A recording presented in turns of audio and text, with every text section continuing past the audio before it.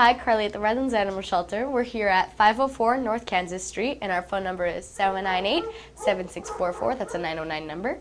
Um, last week, we had 10 cats adopted and 13 dogs, which is very exciting. And today, we have George. He is a six month old domestic short hair, orange tabby and white. He's very sweet. He's a little sh- camera shy, but definitely not people shy. So come check him out. He just loves to be off centered here. So we're going to give you a good view of his face.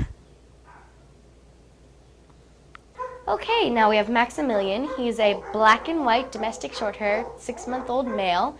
He's in the same pen as George, so he's very sweet. Like I said, he looks a lot like George, except he's black and white. Um, he's very sweet and lovable. He's a little less camera shy. He's looking at the camera a little bit more. So uh, why don't you come down and check him out? Hello, I'm Sam down here at the uh, Redlands Animal Shelter, and this is Zach. He is a year and a half year old Akita mix, already neutered. He is got a lot of energy, but he's very, very sweet and loving and needs a really good home. All right, and here we have Jack Jack. He is an eight year old uh, German Shepherd.